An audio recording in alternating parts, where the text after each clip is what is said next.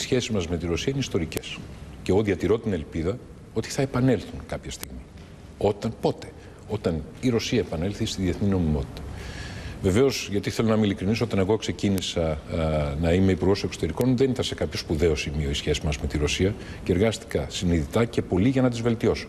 Και λυπάμαι ειλικρινά πάρα πολύ, πάρα πολύ για το σημείο που βρίσκονται σήμερα. Αλλά δεν είναι ελληνική ευθύνη αυτό.